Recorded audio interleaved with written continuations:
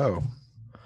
Well, hello and welcome to what is a day one of uh, Red Con- Red Team Village at DEF CON.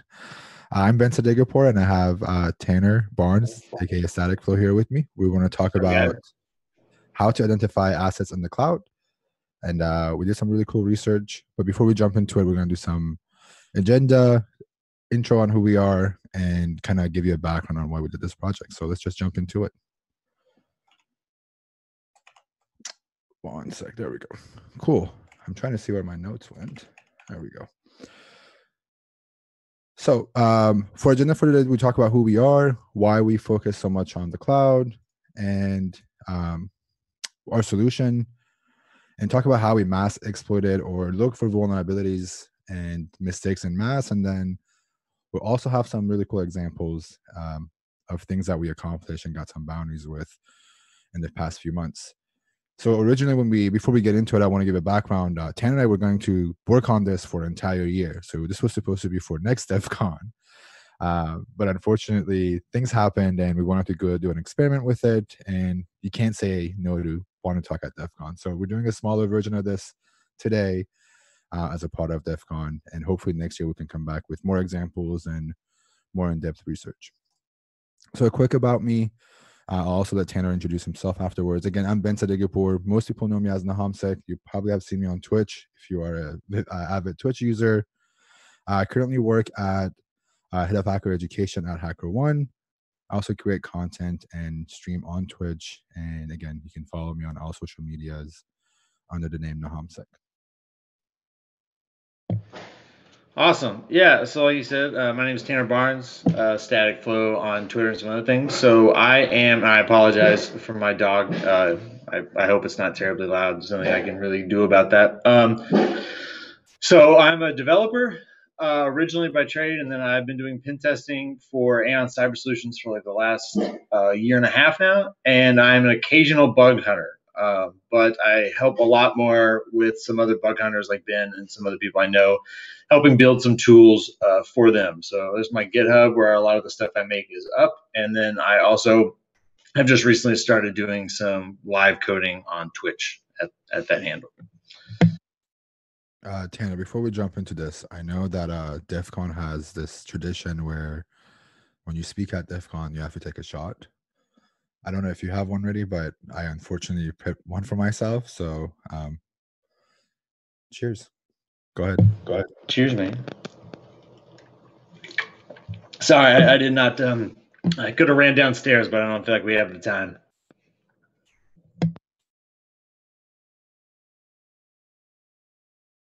Cool. So, um, that's kind of the big question of this, right? Is you know why why the cloud? Like, what's the what's the meaning behind why do we get into doing all this? Um, so there's not currently a, a, ton of great solutions for looking at cloud assets, right? So you've got things like Censys and Shodan, but some of those can be really expensive. I know uh, Censys can be $900 a month. Shodan licenses for their you know their APIs aren't necessarily the cheapest, um, and it's definitely um, worth looking into, right? And so we wanted to kind of see like how could could we look into cloud assets, and then you know what would that look like, um, you know, expense wise. Um, and the other part is just kind of who isn't in the cloud these days, right? Like I think you're probably hard pressed to find a large, you know. Fortune 500, Fortune 50 company that's not running some part of their infrastructure out in the cloud. So it's a huge target rich environment, right? If you look at just Azure, AWS, uh, GCP, you're looking at something like 88 million IP addresses, um, and that's just in their um, what I guess I would call like their EC2 space or their uh, compute space, right? We're not talking about like stuff for Lambda functions, right? That have like pulled up IP addresses, but uh, 88 million IP addresses that could actually be spun up for somebody's instance. Um, and this is also a big part of where organizations, especially large ones, use to spin up their kind of quick and easy uh, development boxes, things are quickly testing on the edge. It's a great, cheap, easy way to deploy that. So if we can get really good coverage and insight into what's happening on the cloud, um, we can really find some really cool targets and get some really uh, useful data out of it. Next slide, please. Yeah, so I mean, this is kind of an example, right, of just some um, some real quick, like dirty, uh, just some quick data that we uh, grab from our database real quick. So uh, you're looking at like a thousand corp domains, uh, 13,000 internal domains. We found that actually very fascinating about how a lot of these domains in the cloud, other DNS names, have stuff like internal corp dev, and it's it's odd. You would, I guess, initially I would have thought that you wouldn't see a lot of that, but um, yeah. So I think that's cool. Is that that kind of tells you that the type of things companies are putting out there on the cloud and on the edge, right? And then things like API, a lot of cloud APIs are are obvious. And then if you look at like some specific target options, right, like anything on Yahoo or OAuth, right, you're looking at 100,000, 4,000 targets, right, all out there in the cloud. Right. So this is uh, my favorite part. Uh, this is um, when Ben uh, kind of brought this idea to me. I was immediately hooked, and I thought it was going to be a real fun challenge. Um, so yeah, so we're getting into kind of how it works and what we did. Um, so it's built in Go. Uh, I've been on a huge Go kick. If anybody is knows me, or if you look at my GitHub, it's kind of funny. It started out when I really started doing GitHub work, a lot of Java, a lot of uh, I call last year the year of Java for me. It was a lot of like burp extensions and things like that. And then uh, I got into writing Golang code and I just got hooked. So pretty much everything I've built since then has been in Go. It's super great. Uh, Go routines make work like this especially easy. Um, it's incredibly concurrent and it's a language built for concurrency. So if you look at like what is the tool that we built do as kind of a core thing. So what we're doing is we're taking IP addresses and we are hitting them on a certain port over TLS and then we're pulling the CNAME and DNS name records out of the certificate it returns and storing that tied to the IP address. So we're building a huge database of domain names to IP addresses in the cloud. So kind of unmasking who owns these 88 million IP addresses out in the cloud and to try to differentiate targets from them. Uh, as far as the actual code goes, not it, it really incredibly, there's not a lot of magic there. Um, mainly it was just kind of a starting ground for like reaching that data. The real magic comes from scanning it at scale, right? So again, 88 million IP addresses, you're not really going to be able to hit that, you know, from your box, right? That's a kind of an untenable amount of data to go through. So uh, scaling it is super important. So this is my favorite slide. It was a lot of fun typing. I sent it to like eight people when I wrote it. So we were looking at about 535,000 slash 24 CIDRs across large bug targets and cloud infrastructure, and then across 11 main ports. So you're looking at about 1.4 billion unique scan targets that we were looking at. And I just recently we we just created version two of the API, and I was able to get it down to a full scan of that space in 15 minutes. So that comes out to a rate of about 1.6 million unique scan targets a second, with 28 to 29 million identified targets across those 11 ports. And then my favorite thing is that all of that costs about $25 in AWS charges, which to me is wild. So there is a flip side to any coin like that. Um, there were a lot of lessons learned uh, on this way. Um, one thing I learned off the bat is do not try this with Lambda. Lambda seems like a really simple solution to do this. Um, turns out they will not let you spin up 535,000 Lambda functions at once, which is not shocking. Uh, I tried that once, and my AWS bill was insane. Um, so that was uh, definitely a no go. So there's definitely been some some heavy hitting AWS bills along the way, uh, working through this, getting to that mythical $25 uh, bill scan. Uh, as far as the code goes, uh, when you get to things like this at scale, um, the quicker you can make the underlying code is obviously super important. So I had a lot of fun, you know, building a really simple solution and then going through with profiling tools that are built into Go to really like carve out every like wasted piece of memory and wasted CPU cycle to just make it as fast as humanly possible, or I guess as computer possible. So when I did put it on the scaling solution, it would run quicker on the scaling solution and thus cost us less money. Uh, one probably the funniest lesson we learned from all this uh, is definitely be careful like who you're scanning and what you do with the data you get from the scan. Uh, the cool thing about this scanner is it actually is very light on the network of targets because we're actually not making a full TLS HTTPS connection. Uh, it's it's rare you would actually probably see this on your ingress logs to your server because we're not actually making a full handshake. Um, what we mistakenly did once was when we had the data, we decided, and we'll get to in a bit, we had a really cool fingerprinting tool that we built, and we decided we'd try to go fingerprint our entire database. Uh, we got some very hilarious LinkedIn messages and Twitter DMs from some very worried CISOs who thought we were trying to uh, take over or attack their entire network. So, definitely important. Uh, with great power comes great responsibility, especially with a data set this large.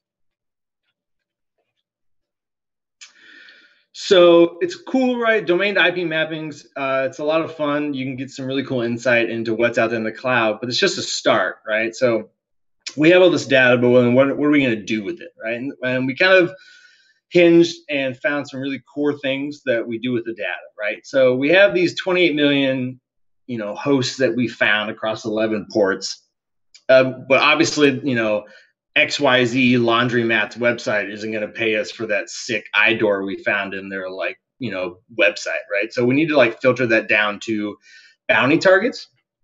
Uh, there's a great repo we'll get to in a bit uh, about just that. Um, I'm blanking on the guy's name, but it's basically a bug bounty targets like aggregation list that keeps a wild card list of wild card scopes on bug bounty programs. So we use that as kind of a seed and then some some kind of custom ones that we put in there as well to run concurrently with the scan and filter them off into their own database. So while we have a list of every domain that we found, we have a specific database just for bug bounty targets. And that helps us kind of filter the data down to then point into some of these other tools. Uh, another really cool thing that we'll get to um, is we started diffing scans, right? So initially we started out just running kind of one a week or one every other week, and we realized we could actually get a lot of coverage and find some even cooler vulnerabilities if we started doing this, you know, twice a week and looking at what had changed in between those two days, right? So obviously a lot of overlap, but then those really new ones, um, we realized we were catching those only, you know, they'd only been in existence a day or two, and that was really helpful to kind of focus on what we needed to look at first. Uh, another really cool one. Um, is vhost discrepancies or virtual host discrepancies with the host header, right? So we have all these targets, but again, you know, you're looking at millions of them. What is kind of a key differentiator for things that might be interesting? And one of those things is how they might handle virtual hosts. So, uh, and I'll get to that. We'll come to that later in the slides. But uh, we you'll find some hosts in this data. We found some where you can hit it by IP and you'll get one result. If you hit it by its domain, you'll get a different result. And if you hit it by a local host header, uh, or a local host host header, you will get uh, sometimes access to stuff you wouldn't have normally. Um, and then the final thing was that fingerprinting, right? So being able to pull like titles, response lengths, status codes, and take that data and use it to fingerprint specific services would let us key in on large technologies that we knew we wanted to go after, like uh, the Grafana bug that Ben's going to talk about a little bit later and stuff like that. It allows us to kind of hone in on a specific technology. So right, so like I said, this is that's the repo. It's great. I'd recommend everybody if you're starting out with a recon set and you want to look at like where to start doing recon on that that repo right there is a great guide for sure to get started. Um, like I said, you got 1.4 billion targets. That creates a lot of noise. Obviously, not all 1.4 billion come back, but out of that 28 million, we really need to kind of filter it down pretty quickly to get to will actually get us some some bug bounties. Um, I'm so sorry, guys. Um, so being able to filter like that um, brings us access to you know a smaller target set. Next slide.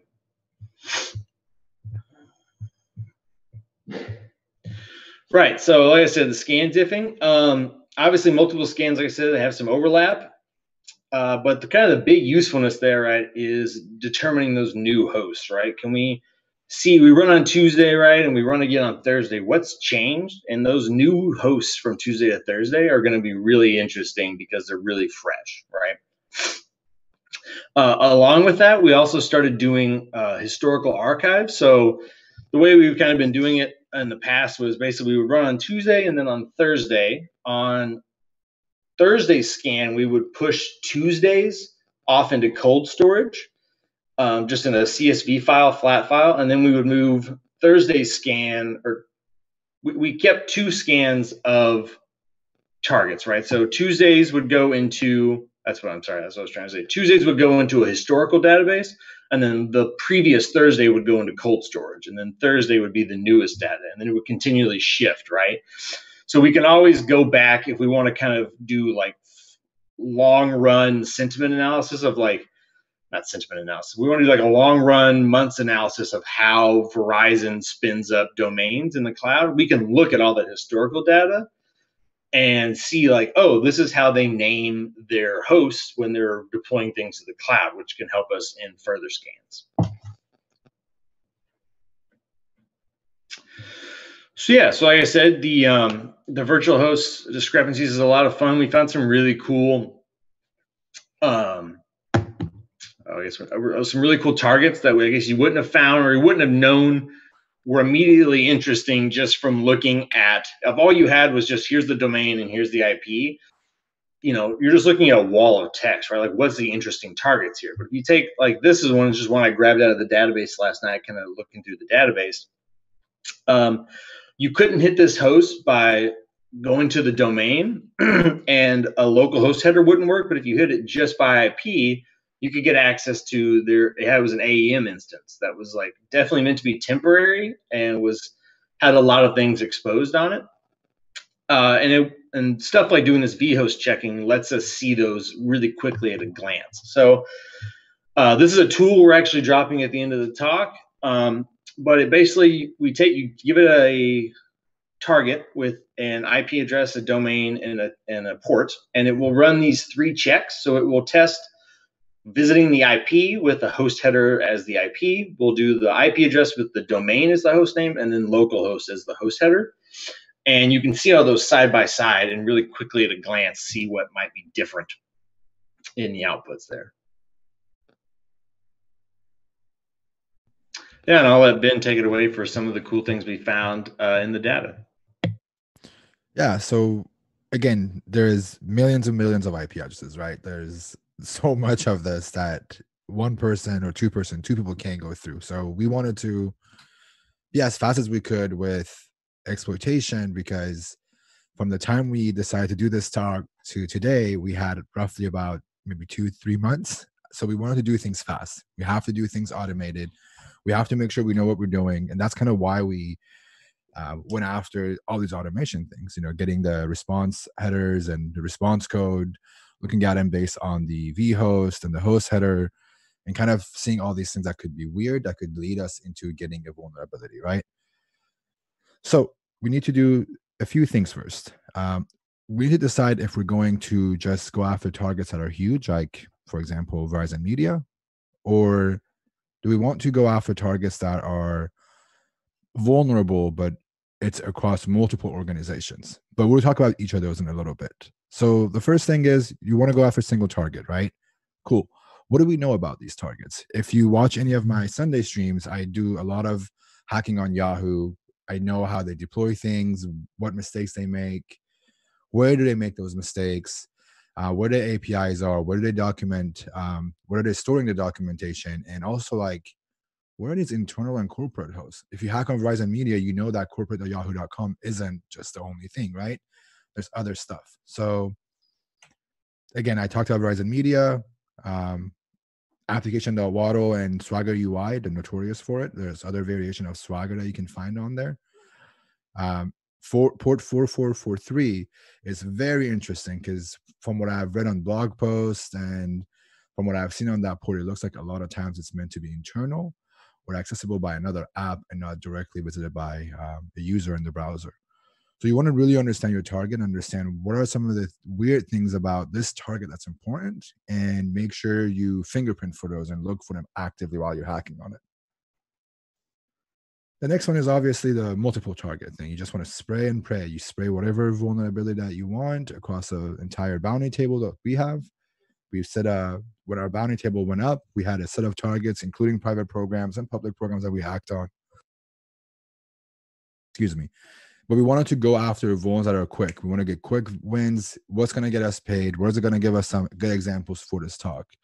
Um, again, time was not on our uh, best side. So we looked at CVEs. There's a ton of good CVEs that dro- got dropped in the past three months.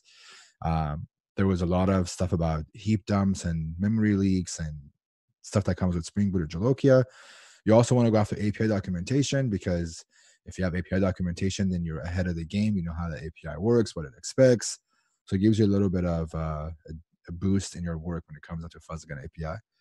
And of course, you want to also look for sensitive or internal tooling or applications that are not meant to be really publicly accessible, like Jenkins, GitLab, GitHub, Jira, uh, Grafana, uh, you name it. So you want to make sure you understand what those sensitive apps or internal toolings are, and then make sure you have a fingerprint for it. We'll talk about all those in a little bit too.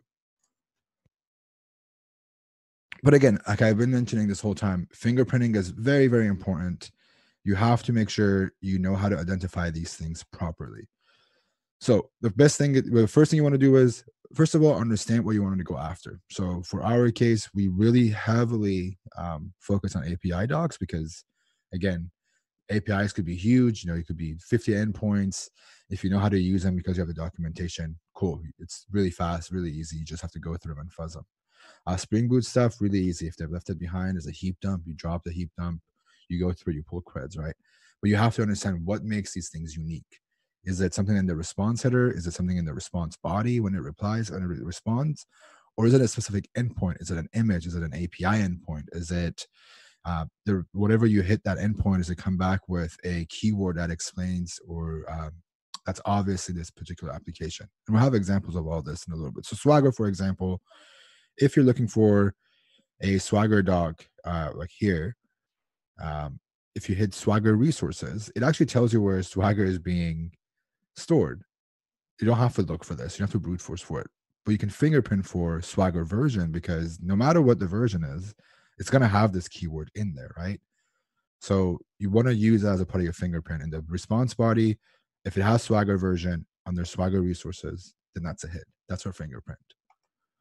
Um, if you find a Swagger slash API docs and it's a JSON format and it's not the, it doesn't tell you where you got to just brute force for it, but you're brute forcing for it in mass. You want to look for base path because every single Swagger documentation that is in JSON that I've seen so far they all have the base path in there because you have to tell the user where the API base path is, right? That's our main uh, way to fingerprint for the JSON formatted API docs from Swagger. And obviously, before people start reporting Swagger vulns to bug bounty programs, Swagger by itself is not a vulnerability unless it's some internal tool and the company wants to pay for it. I never report them by themselves, but it's really helpful when you're not playing hide and seek with the API, when you don't have to brute force for these API routes. Then you don't have to brute force for the parameters you don't have to brute force if it's a put, post, or get request. So all these things add up, right? So as long as you have this information, it's easier to enumerate for it. We also went after GraphQL at some point.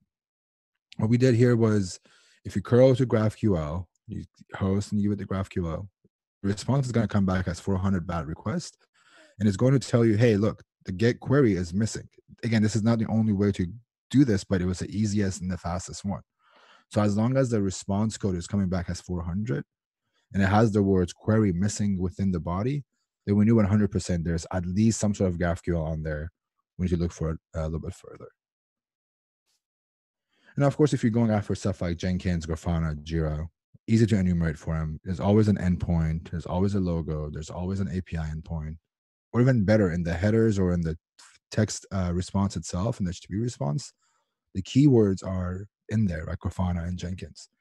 So make it easy. This is super simple. As long as it's Grafana coming back, uh, case sensitive, it's not case sensitive. Um, whether if it's you know capital G or not capital G down here, as long as Grafana is somewhere in there and the root directory is redirecting us to log in, then we know that's also a Grafana instance, right?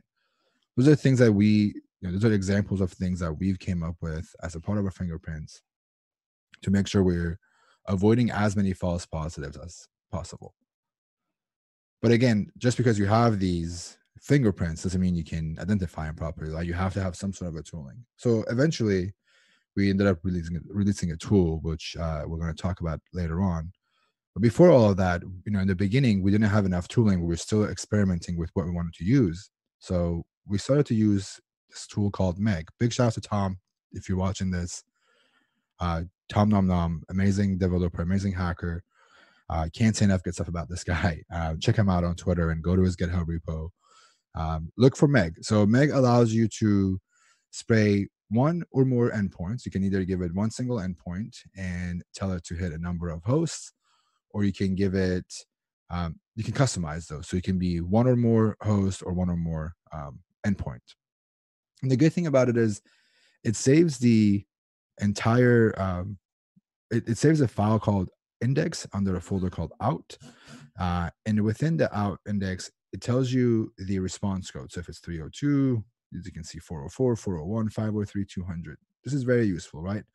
But on top of that, uh, as I also showed in the last screen, it saves the entire response, the HTTP response within a folder. So if you go and uh, do it based on IP, it would save them in the IP address.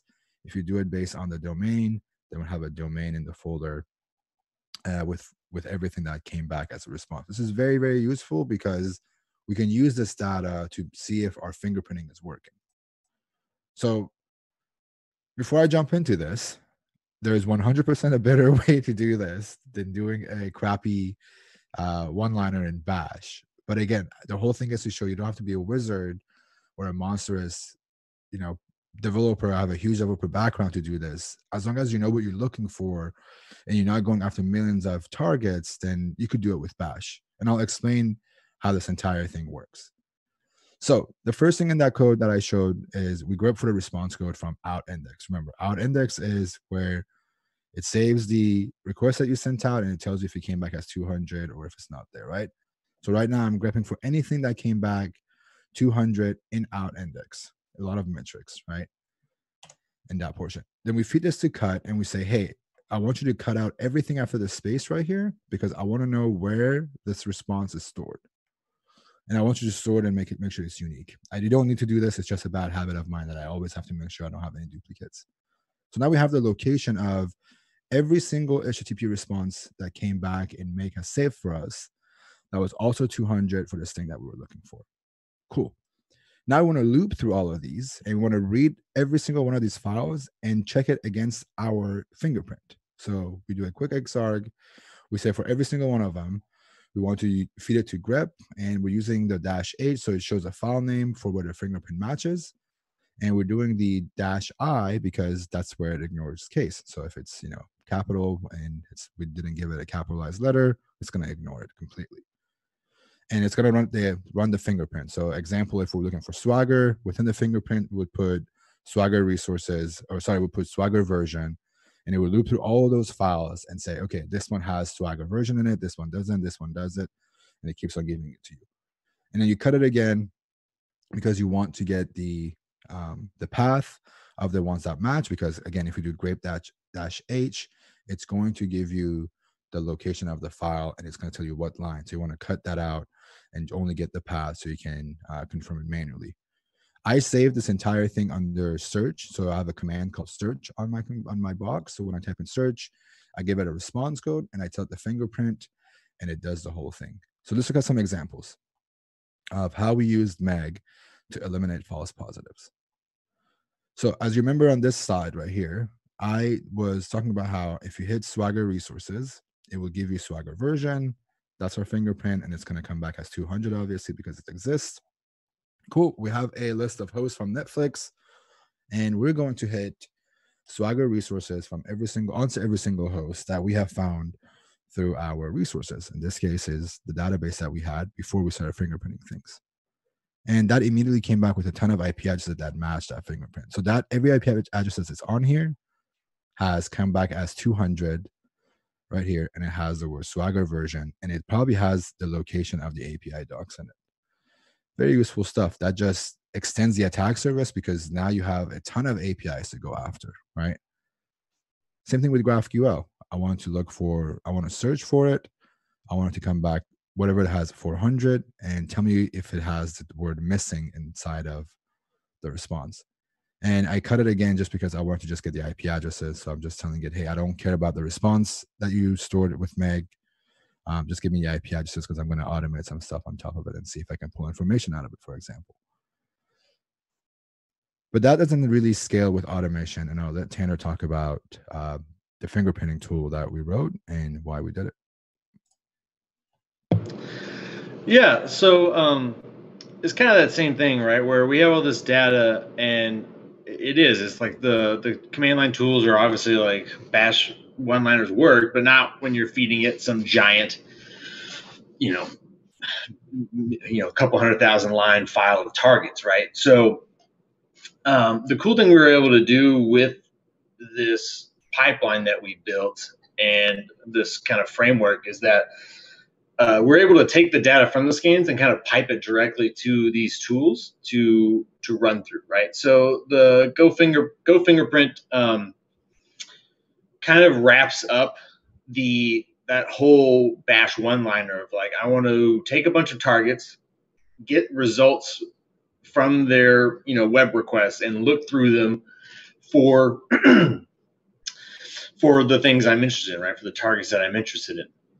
Uh, and so that's really what this does. Uh, it's this we kind of have it set up internally for us that uh, when new scans come in, this is triggered automatically and kind of enriches that data, like I said. And all of our records uh, that we keep are internally tagged with these type of things, right? So you um, and you'll see this on the repo. I, I have an entire like fingerprints JSON file that you can add to or create your own, right, for finding your own kind of targets and fingerprints in the data.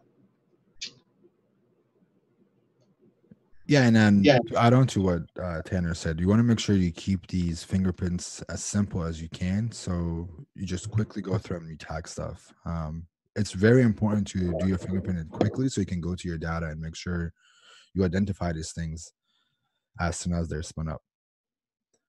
Um, should we talk about some bug bounty examples? Let's do it. Cool. So again, um, please remember that a lot of these are from bug bounty programs that I've hacked on. Um, it's heavily redacted, unfortunately. I'm hoping my redactions have done properly before I start doing all of these. And um, we change a lot of them, and it's really hard to use real life examples. I don't blame a lot of these companies because you don't want to end up at DEF CON and end up in the news. But um, just remember, the, a lot of these vulns are super simple but yet have been found in the last three months and they're very very low hanging fruit and it's just to, to show if you have the right data it doesn't even have to be at, to the extreme that we went with this talk but if you have the right data you know how to process it and store it then you can find a ton of good and easy bugs with it.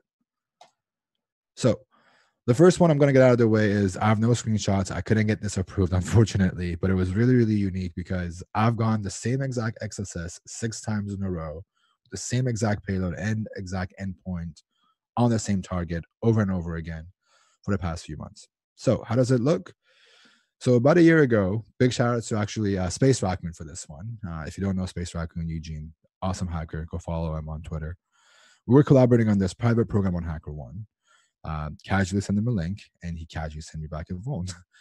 never thought about it ever again. Never spoke of it. Never looked for it ever again. But me being me, I naturally added that endpoint to my word list. Hey, you never know what's going to happen. They might use it later on, right? Well, later on happens. Uh, I'm working with Tanner and we dump another set of data. And I rediscovered that this demo app.html thing is back up. And we know this thing, we've already seen it. So, having access to our fingerprinting tool, I go back to our uh, JSON thing, we write a fingerprint for this HTML thing, and we say, hey, if you hit this endpoint, it comes back as 200 check and see if this JavaScript file is being called. And if it is, then we know there is an XSS in there because they're not patching the XSS. They're just removing it every time we find it. And we just keep monitoring it. So every time there's a new scan that goes up, you grab the data, you feed it to the fingerprinting tool, and you look for this particular endpoint on that target. And if it comes back, you can get a bounty from it. And I've done this six times so far. It's super easy, super low hanging fruit, uh, but it just comes down to knowing how to monitor for it. The next one is, uh, first of all, kudos to Rhinorator Justin Garner for getting the CVE number with leet uh, nine, as he calls it, one three three seven nine. Uh, it's an on-auth SSRF in Grafana. Um, I'm not talking about the POC at all during this talk. There is no talks around it at all. If you're interested in the uh, technical aspects of this vulnerability, then I highly recommend going and watching his talk from ActivityCon uh, last weekend, and he has a blog post out for it. So definitely check it out if you want to learn about the um, this phone in particular. So this is the fingerprint that we came up with. We talked about this already. If you hit root, hit 302s to login. If it has the word Grafana in the response, then boom, you have it. But it's not always on 443. We've also seen it religiously come up on 3000. And I've also heard Justin say it comes up on 3001 as well. So you have some fingerprints. Um, the 3000 thing is cool because it doesn't have the keyword Grafana in the, it, it may be a, you know, most people call it Grafana dot whatever, the permutation site.com but in a lot of cases in 3000, it could be a wild card, but you have a higher chance of it being Grafana because it's on that port than you do on 443, right? Because tons of people are hosting stuff on 443. So how does that work? Well, we pull everything that's on port 443 from bounding Table. And again, bounding Table is what Tan and I have put away um, with targets that are valuable to us. It was just a list of maybe 30 companies that had a wildcard program and were useful to us and we shove them in there and we're just going through them every every week or every other day almost. Um, so we pulled everything that has Grafana in it, everything that's from port 3000. You hit login on all of them with Meg. And once you hit it with Meg, you do the same thing. You have it search for 200 and you want to make sure the word keyword, uh, the keyword Grafana comes back. So you know Grafana is actually on these things. And this returns all the possible instances. You can skip the login part if you don't care to fingerprint for it. You can just directly hit the POC and tell it to fetch the um, latest endpoint on the AWS metadata. And instead of looking for Grafana, latest replies with user data, metadata, and I think another folder. So you can fingerprint to see, okay, if my okay, if my POC worked and the response of the POC had the word meta dash data in it, then it's exploitable, flag it for me and give me the results. But we didn't need to really do this because we have already Grafana tagged in our bounty table. So all we have to do is go back to our database, type in our regular query and say, hey, I want you to give me every domain that was tagged as a potential Grafana. And we could have either written a, workflow for it where it automatically ex, automatically exploits it. I'm against doing those because I like to do that part manually to make sure nothing's going wrong. You never know if it's a typo, if there is a is something wrong in your POC? I like to do those manually. So we would get all those potential um, vulnerable instances and do them manually and make sure they're vulnerable. But again, you can automate it with Meg or write your own workflow of, hey, if you, you know, if we diff it, it comes up as Grafana, hit the POC. If the POC gives you metadata, cool, it's vulnerable. Send a hook to Slack or Discord and let us know. But I skip all that and I could do it manually. And that was really easy to do, right? Um, again, like I talked about it, we filtered the DB. It shows all the ta- assets tagged as Asana, and we ran it through Meg, and it gave us some really good results. But what was cool was that we realized some of these targets weren't really doing this um, just in one instance. There was a lot of them. This is actually a report that Justin found, and we realized there were, I want to say, 12 other instances just because we weren't looking at the right domain we weren't looking at the right uh, internal domain, if that makes sense. I can't talk about the company, unfortunately, because of how private it is. But it was they were fascinated by the fact that we found so many different IP addresses that was vulnerable to this thing. And of course, that wasn't the only company that was vulnerable to it. There was a ton more, but these were just the most recent ones that we had found. Um, and there were all of these were bounded at some point, I believe, something big or something small. Uh, in a lot of cases, smaller because you know this was a POC that was about 40, not even 30 days old. Uh, we were just reporting it without the expectation of bounty. So if they give us a bounty, it was just an additional um, benefit of it. In a lot of cases, it was more than just one asset. So we're identifying a list of um, vulnerable in that company's uh, infrastructure and sending it to them, which kind of uh, made things more interesting. So key takeaways again, uh, companies may have the uh, the same app running in multiple instances on other IPs, but multiple instances doesn't mean that they're going to give you multiple bounty. Believe me, I've dealt with that a number of times. Uh, but multiple instances, uh, sometimes, what I want to say in most cases, it means that you're going to get a higher reward or bonus. But also give the teams an appropriate time to patch. Um, you don't want to report a CV jobs today. You want to go back. You don't want to be that person that reports it the same day. I get that. You know, it's their, it's a security team's job to you know fix these things, but it takes time. It's not overnight. Uh, you gotta let them go through their cycles and uh, let them patch it. So if you decide to report it too early and get money, don't get upset. Um, it's a part of the game. Uh, give them enough time before you start uh, mass spraying for these. So we actually went and uh, also sprayed admin across the entire bounty table uh, just because we wanted to see like, hey, like some of these IP addresses are coming back with corp or internal within them, and they're not supposed to be accessible publicly, more than likely, right? Like the domain wouldn't load, but if we hit it by IP, then it loaded some stuff. So cool. Um, let's run admin and see what comes back. So again, we did Meg, admin, a list of IPs. We'll search for anything that came back that had the keyword login in it and was 200 a lot of them came back, but we didn't have the time to go through all of them and brute force for them. But there was one that particularly was very, very interesting to us, which was this thing that redirected admin to MGMT some folder login. Cool. All right. Well, why are we going from admin to this thing? This has to be something know, interesting. Let's just look at it. Now, of course, when we go to MGMT, it has an admin login page, as you can see on the right. Okay. And the password for the admin username and password were admin admin. And uh, as you saw the reaction, it was anytime that I put admin admin and it works, this is probably the most accurate reaction. Um, but that worked. It got us logged in. But that's not fun, really. You know, it's there's nothing cool about saying, okay, I found an admin folder, admin admin worked.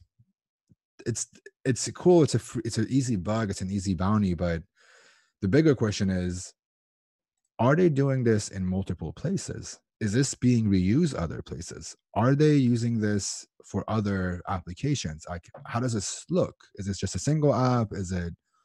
Um, let's look at it. So, the app name is on the left side. It's we, we renamed it to XYZ. The permutation here, it's not really a permutation. It's it's it's the platform where the game is hosted. So if it's iOS, if it's through Android, other platforms that you can play this game. I wish I could disclose this target is obviously the domain that we can't disclose. And then the core app is the thing that they internally call it when you're logged in. And it wasn't called core app, it was something very unique to this game that made you go, okay, so this endpoint isn't going to come up on other IP addresses. But if this if we find an IP address that doesn't have a hosting, for example, within their CIDR, but it comes back with this folder, it means it's owned by them and it's running the same code, right? Okay, cool. Now let's go back to our database. We're going to look for this app name, you know, the, the XYZ part right here. And we're going to say pull everything that has this XYZ portion. And I don't care what's before and after it, as long as that keyword is in the middle and it has a domain I wish I could disclose.com in it, give me the results. And I'm going to spray it with Meg and see how many come back. So 15 of them came back to be exact. I think some of them were patched by the time we were fingerprinting for more of these. But 12 of them actually allowed us to log in with admin admin. And each of them had access to different user uh, data and PII because they were on different platforms. But from what I heard from their internal team, there was roughly about 1 million users that were using this thing. And I'm 99% sure there was RCE by design in some of the links that were uh, in the admin panel. So again, it's it was a cool bug, but you go from one bounty to like, hey, it's the same bug. I'm not saying give me multiple bounties, but there are multiple things that could be affected by this. The team investigates this more and they look into it more, and you usually turn out with a better bounty, to be honest. All right, this has to be one of the most insane and easiest vulns that I've seen in my life. Um, this is on a megacorp that I know as a fact everybody watching this presentation probably has heard about them, um, and you definitely don't know who they are. Uh, but unfortunately, because this just got patched and um, fixed just last week, we didn't have enough time to ask for permission. So there might be a blog post for this later on. But this, before we talk about the bug, let's talk about a few fingerprints and things that are valuable. If you've ever looked at Spring Boot's documentation, there's a few things that are really interesting about it. Every endpoint that comes back within Spring Boot, is really interesting. But two of them are really, really interesting because of the data they give you. One of them is being the HTTP trace. It's usually slash HTTP trace or slash trace. That gives you information about the HTTP request and the response exchange. So whatever response you send it, or whatever request you send the server, it stores it in trace up to like 50 of them, for example. So if you're brute forcing, it also stores those in trace, and we'll talk about that in a little bit. Um, and also the heap dump is obviously it gives you a heap dump from the application's JVM. And according to documentation, if you hit a Spring Boot uh, application, it comes back with content type as this. So if you hit slash trace, the response is going to have this in the header. And that's what the documentation tells us. Cool. Let's use this, let's fingerprint some stuff and go after an org. ZLZ and Zayed. Zayed's gonna kill me for capitalizing the Z in his name, but that's fine. If you don't know him, follow him on Twitter. Really, really they really, really wanted to hack this megacorp. They're on a mission. We have to own this company. We have to be there internally. We want to see what this company looks like from the inside. Okay, so they dumped every single asset they could find from this, um, from all of our resources beyond our IP scans, whatever we have, historic data, old data, new data, whatever we have, we just dump it all into one text file. We spray every single one of them with uh, slash HTTP trace, and we look for it and see which ones come back. So in one of our exchanges, we saw that uh, we came across the following URL. Again, XYZ is the app name. It's just to protect the company. We don't want to disclose who they are, so that the app name would be pretty obvious, but it's XYZ dash internal dash prod, and then it was site.com actuator HTTP trace. Okay, well, let's look at it. When we looked at it, this thing comes up. You know, this is uh, the information that's being stored. It's pretty much a timestamp, what kind of uh, request it was, what was the URL they made the request to, all the headers, including the cookie, and also they had some other stuff right here, user agent, blah blah blah, right? But internal prod megacorp is what got us got, got attention. But the cookies that we had in that previous screenshot, the first set of cookies that we found were not useful. We couldn't log into that app that we were hacking on. But we knew if we looked deeper, because we had the heap dump, we could probably find better credentials or cookies. But the one thing that worked out was we understood that okay, there's XYZ dash internal dash prod site. Does that mean there's XYZ.site.com? Is there XYZ dash internal? Is that XYZ dash prod? And it turns out all these different permutations exist, and every single one of them have the same exact mistake of having actuator HTTP trace, HTTP trace available um, to hit.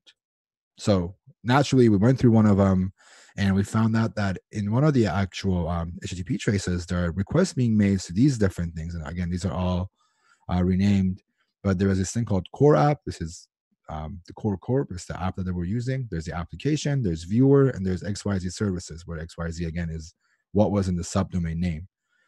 So there are four different apps running on this, and they each have an actuator and they each have their own HTTP dump and HTTP trace. So we dumped them all. We saved all the results from all of them. We also saved all the heap dumps and we went through every single one of them gripping for cookies. And eventually we found a working session that actually logged us into the website and we loaded them into burp via match and replace and we eventually got access to a lot of internal sites that we shouldn't have access to.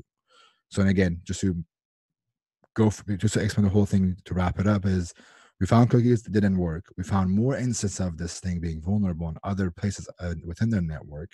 One of them actually had working employee credentials. We plugged them into burp authenticated to this internal app.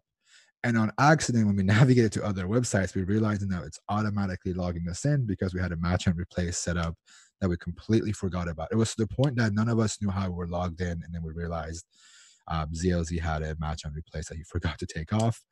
But they gave us access to some really cool stuff. There was 3,652 people. I think these are all employees of this company. We had access to their accounts on this thing. Um, this had a little bit of a trick with the um, path normalization stuff, but it still gave us access because we had cookies. Um, this is called my cells comp. I don't know what it is, but gave us access to some cell stuff that they did.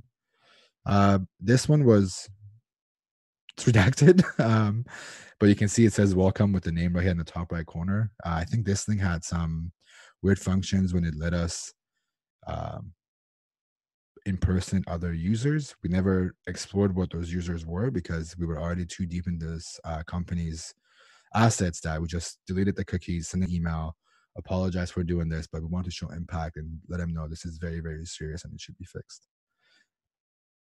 And we learned some lessons from it. First of all, um, dig deep. There's not just cookies. There's credentials that could be in there. It could be base64. It could be keys. It could be authorization headers. Um, there could be a lot more information there than what I just uh, explained.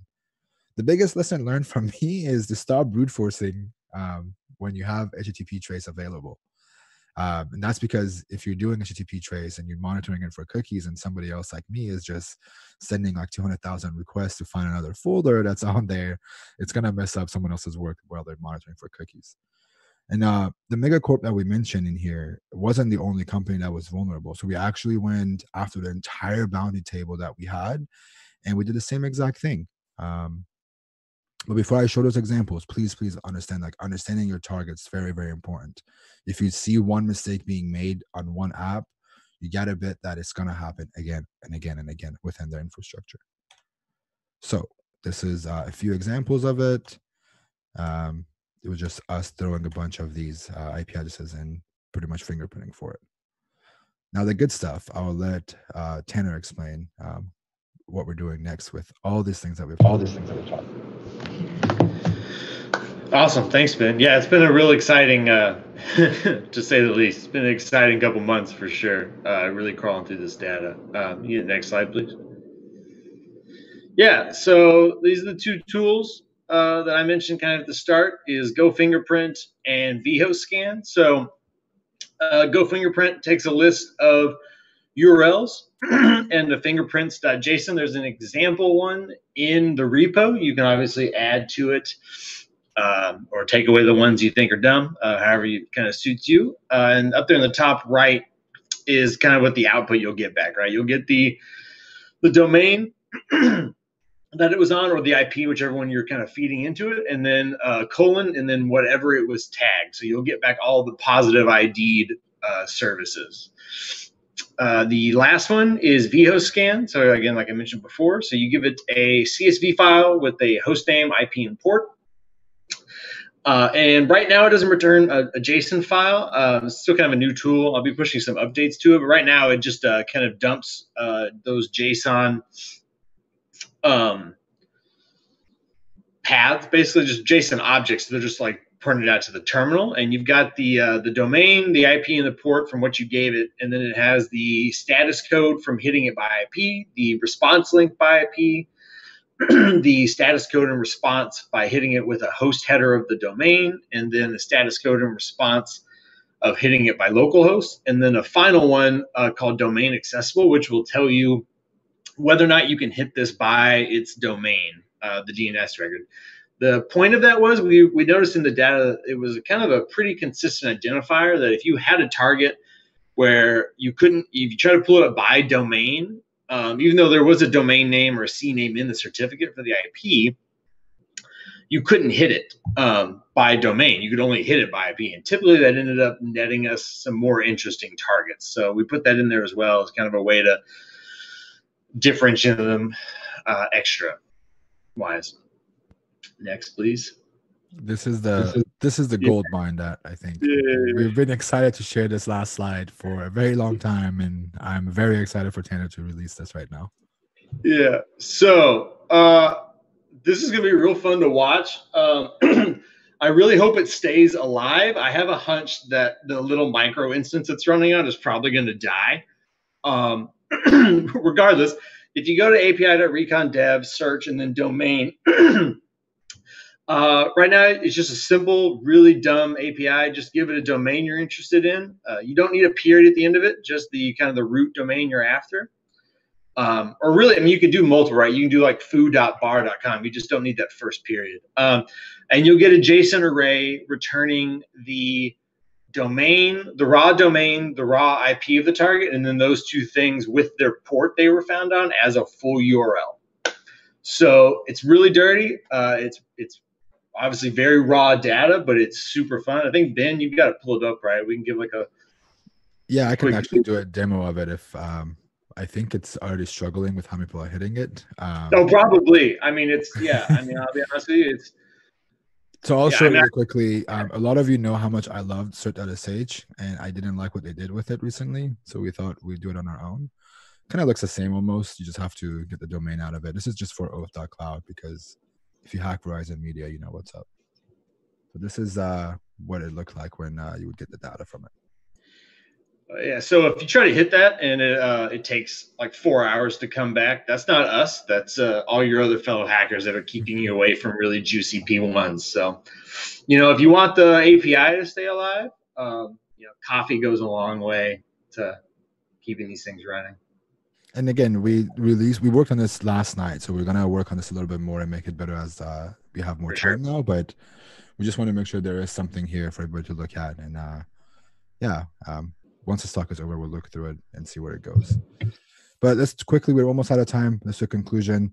Uh, first of all, understand your targets as always. Where do they deploy their new apps? How do they do it? Um, knowing things that mistakes they make is very, very important. Uh, again, familiarize yourself with things that you see frequently. If you don't, if you understand how these things work, it's easier to exploit them. Uh, fingerprinting becomes easier. Make sure you have a solid understanding of the apps and the backends. And also, great, get a good database of assets you care about and make sure you keep them updated and you keep historic data and you definitely again you don't have to go to the extreme that we did. A lot of this data is available on census and shodan. Um, you just have to know how to work them. We just had the luxury of being able to do this and we really want to do some cool research around it and that's why we kind of reinvented the whole wheel again. Um, and again most of these old tricks most of these are old tricks. Nothing is new what i've talked about but it just shows that it still works against huge uh, megacorps. You know, an, an example of the heap dump thing that I showed you. Um, someone with malicious intent, that's a gold mine for them, right? It's easy to pivot. You already have credentials.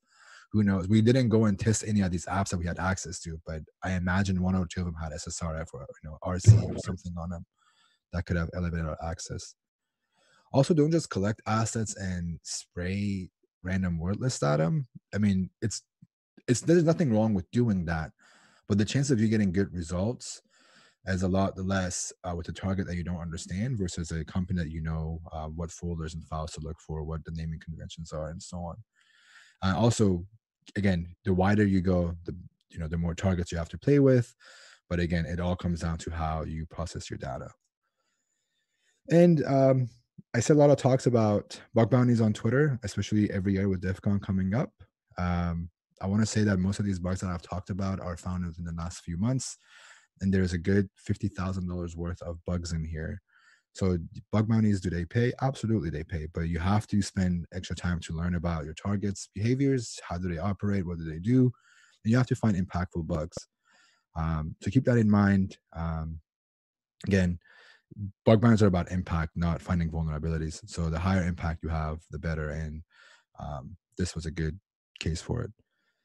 I don't have a reason why I put this on here. Um, obviously, the semicolon trick always works. Um, one of the slides that I showed, I said semicolon path normalization stuff. This is what we did it. But I also wanted to show how important it is to incorporate this in your recon. Um, you can see it from NAFI. There was a CV that came out not too long ago on one of the VPN ser- service providers, and then um, you can see they're all connected. And of course, uh, if you're not doing this right now in 2020, you're probably two years behind. And last but not least, thank you for watching. Uh, thank you for the Red Team Village for having us. And of course, uh, thank you to Zayed, ZLZ, Donut, uh, Tom Nom Nom, Irby Sam, and Rhino Raider. And if I forget anybody that you know helped us throughout this research, I apologize. But thank you everybody, and uh, thanks for having us.